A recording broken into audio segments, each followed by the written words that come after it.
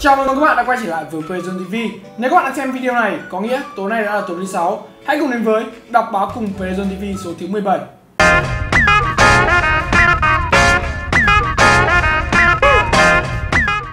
Acer mới đây đã chính thức giới thiệu mẫu ô mạch chủ tí hon đầu tiên trên thế giới có kích cỡ chỉ có 4 x 4 inch. Nó có tên là Vivo Unibot UN66. Mặc dù kích thước nhỏ như vậy nhưng nó vẫn có khả năng hỗ trợ vi xử lý Intel Core thế hệ thứ 6, xử lý tốt các tác vụ đa nhiệm và khả năng xuất hình lên tới độ phân giải 4K, hỗ trợ RAM DDR4, chạy kênh đôi với xung nhịp lên tới 2133 MHz đáp ứng các nhu cầu băng thông như mã hóa video có khung hình lớn, xử lý đa nhiệm hoặc các ứng dụng uh, internet khác. Và bên cạnh đó thì nó còn hỗ trợ tối đa 3 ổ cứng cho nhu cầu các doanh nghiệp vừa và nhỏ. Cùng với đó là 4 cổng USB 3.0 tích hợp khả năng sạc nhanh PCI 2 cực kỳ tiện dụng với nhu cầu sạc pin cho một thiết bị uh, di động nào đó. Ngoài ra, sản phẩm này còn các cổng HDMI, uh, ờ, LAN và VGA, cổng rắc cắm cho micro và tai nghe. Với một kích thước nhỏ như vậy nhưng mang trong mình một thông số ấn tượng, nó hoàn toàn thích hợp với những công ty không muốn tốn quá nhiều diện tích với những cỗ máy tính hay kể cả những người sử dụng máy tính cá nhân tại nhà với không gian eo hẹp.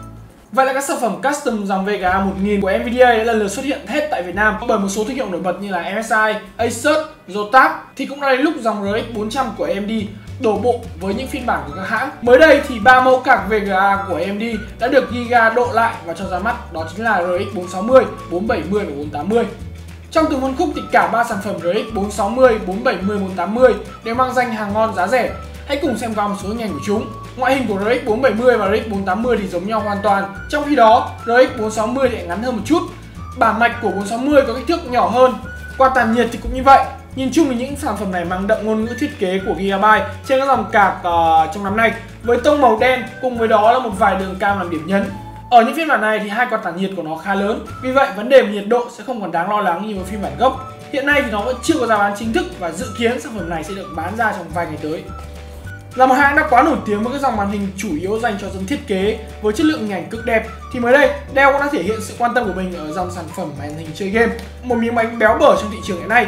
nếu như 144Hz đang được coi là chuẩn mực mới trong dòng màn hình chơi game thì hãng này đã chơi trội hơn khi tung ra bộ đôi sản phẩm mới của mình mà trong đó có một sản phẩm có tần số hỗ trợ lên tới 165Hz. Tất nhiên là nó phải sử dụng công nghệ G-Sync của NVIDIA hay là FreeSync của AMD đồng tiên sản phẩm có mã là S2417DG sẽ là một sản phẩm cao cấp có độ phân giải 2K. Kèm theo đó là tốc độ bản hồi lên tới 165Hz nhưng tất nhiên sản phẩm này sẽ sử dụng tấm nền TN thay vì IPS. Điểm trừ của loại tấm nền này là nó cho một giải màu không thực sự tốt và cũng như đó là góc nhìn kém. Nhưng thay vào đó thì bạn sẽ được một sản phẩm màn hình có tần số quét cao như vậy. Trong khi đó sản phẩm lớn hơn nhưng lại có giá rẻ hơn, đó chính là SE2717H có thông số bình dân hơn một chút Độ phân giải của nó là Full HD và tần số quét tối đa chỉ là 75Hz mà thôi. Tốc độ phản hồi của màn hình này không khác nhiều so với các sản phẩm trước đây của Dell. Bù lại, SE2717H sẽ sử dụng tấm nền IPS với chất lượng màu sắc ấn tượng. Nếu từng dùng qua các sản phẩm màn hình IPS của Dell chắc, chắc chắn bạn sẽ không phải lo lắng về độ nét cũng như giải màu chính xác của hãng này. Giá bán dự kiến của S2417DG sẽ là khoảng 12 triệu đồng, còn SE2717 sẽ bình dân hơn là khoảng tầm hơn 5 triệu đồng. Có vẻ như các hãng game here đang muốn đa dạng nền tảng các sản phẩm của mình, không chỉ trên PC mà còn cả trên console hay smartphone. Trước xu thế này thì SteelSeries đã ra mắt một mẫu tai nghe mới với lời quảng cáo là tốt chẳng cho game, tán gẫu trên mạng và cũng có thể nghe nhạc từ smartphone. Sản phẩm này có tên Siberia 840. Theo hãng thì 840 cơ bản cũng là một sản phẩm được phát triển dựa trên dòng tai nghe chuyên game Siberia 800, xong được hãng nâng cấp với kết nối Bluetooth SteelSeries đảm bảo Siberia 810 sẽ tương thích tốt với Xbox One, PlayStation cũng như PC, Mac và cả smartphone. Để đáp ứng nhu cầu sử dụng di động thì Siberia 840 trang bị đến hai pin sạc kèm theo và luôn sẵn sàng cung cấp năng lượng cho anh em. Sản phẩm này cũng được đảm bảo có khả năng mang lại một không gian giải trí thoải mái nhờ hỗ trợ đầy đủ công nghệ âm thanh tên tuổi như là Dolby Headphone, Dolby Digital. Hiện tại thì Siberia 840 giá vào khoảng 330 đô. Tuy nghe có vẻ hơi đắt đỏ nhưng nếu so với tính năng mà nó mang lại, người dùng một khi đầu tư sẽ không phải hối tiếc nhất là một sản phẩm vừa có thể chơi game vừa có thể đáp ứng được nhu cầu uh, sử dụng trên smartphone Hãng gaming gear Ozone mới giới thiệu dòng chuột chơi game mới có tên là Ozone F60 Ozigen. Đây là một trong những chuột chơi game có thiết kế công thái học và nhìn qua nó có vẻ khá to và giống với Minix Now 7000. Nó sở hữu những tính năng độc quyền cao cấp và tốt nhất đến từ ờ, Ozone như là mắt đọc laser siêu nhạy, chế độ thay đổi 16 triệu màu, 6 nút macro và phần mềm tùy chỉnh mạnh mẽ. Đặc biệt là sản phẩm này thiết kế bởi game thủ ngôi sao Liên minh huyền thoại với cái tên cực kỳ chắc chắn là ai cũng phải biết, đó chính là XPK để phục vụ những trải nghiệm thi đấu game tốt nhất. Hiện tại giá bán cũng như ngày ra mắt chính thức của nó thì vẫn chưa được công bố. Tựa game với nội dung vô cùng mới lạ và lôi cuốn đó là Quantum Break đã được chính thức ấn định ngày ra mắt phiên bản dành cho PC vào tháng 9 này với cả phiên bản có box và bản kỹ thuật số ở trên hệ thống Steam. Đây là một tựa game với nội dung ờ, rất hấp dẫn. Nó có bối cảnh bắt đầu tại Riverport University, một ngôi trường học phía bắc nước Mỹ, nơi một cuộc thí nghiệm vượt thời gian đã diễn ra thất bại. Sau khi thí nghiệm này thất bại, thì kết quả là ba người có mặt trong thí nghiệm này, đó là Beth Reader, Jack Joyce và người bạn thân nhất là Paul Skin đã nhận được những khả năng đặc biệt liên quan đến thời gian. Paul kể từ khi sở hữu năng lực nhìn thấu tương lai đã quyết định trở thành người thống trị thế giới và nhân vật chính của game cũng như bạn của anh này là Jack đã cùng Beth sẽ chính là những người duy nhất đủ khả năng để cản Paul bằng sức mạnh độc đáo là ngưng động thời gian. Đây sẽ là một tựa game rất hấp dẫn trong thời gian tới cho game thủ PC.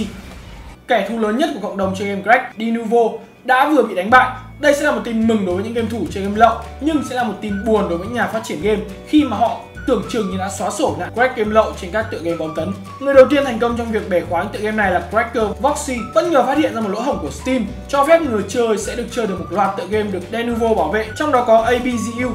Tựa game vừa mới được phát hành vào ngày 2 tháng 8. Tựa game đầu tiên được Voxy tung lên mạng là Doom. Sau ngay sau đó từ tháng xông lên thì anh này tiếp tục tung các tựa game khác, ví dụ như là Just Cause 3, Homefront, Total Warhammer nhưng ngay sau đó Denuvo đã phát hành một bản fix và đã khiến cho crack này không hoạt động nữa nhưng ngay chỉ một ngày sau đó các thành viên của hai nhóm crack game có tiếng là CPY và Codex đã tung ra bản crack hoàn chỉnh cho tựa game Rise of the Tomb Raider chừng đó đã chứng minh rằng Denuvo đã thất thủ tuy nhiên nó cũng hoàn thành tương đối tốt nhiệm vụ của mình khi mà có thể bảo vệ tựa game này trong khoảng tầm nửa năm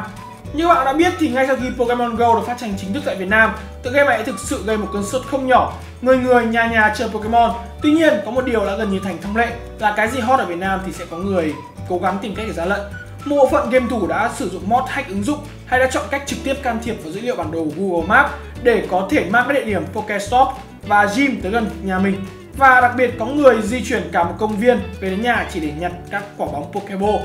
Mặc dù hành vi này chưa ảnh hưởng trực tiếp tới Google Maps, vì các dữ liệu bản đồ vẫn phải qua Google duyệt, nhưng đây là một hành vi cực kỳ xấu và nó có thể gây khó khăn, vất vả cho nhân viên của Google Maps trong việc hoàn thiện bản đồ của Việt Nam vì vậy, nếu bạn đã sử dụng bản cheat này hay bạn bè của mình sử dụng thì hãy ngăn họ lại vì một môi trường chơi game trong sạch cũng như bản đồ Việt Nam chính xác những fan hâm mộ của tựa game Liên minh huyền thoại Việt chắc chắn sẽ không quá lạ lẫm với tên SOFM hay còn gọi là SOP Mặc dù không phải là một game thủ Việt Nam đầu tiên được ra nước ngoài thi đấu, tuy nhiên cậu là một trong những ít game thủ thành công ở trong đấu trường chuyên nghiệp nước ngoài. Mới đây, một bộ phim ngắn dài 20 phút có tên là Unlock SOFM đã cho ra mắt. Bộ phim này nói về hành trình của SOP ở Trung Quốc và với những vinh quang, thất bại mà suốt thời gian cậu trải qua. Cùng với đó là cũng có những hình ảnh gia đình, bạn bè, những người thân luôn luôn động viên ở bên cạnh cậu trong thời gian thi đấu của mình. Đây là một bộ phim ngắn rất hay và có ý nghĩa. Các bạn hãy lên thay tìm kiếm của YouTube và search từ khóa Unlock SOFM. Thông tin vừa rồi là kết thúc đọc báo cùng Pezon TV số thứ 17. Nếu các bạn có thắc mắc hay muốn thảo luận gì, hãy comment ngay bên dưới. Đừng quên bấm like và theo dõi kênh YouTube của Pezon TV. Xin chào và hẹn gặp lại các bạn trong những video kế tiếp.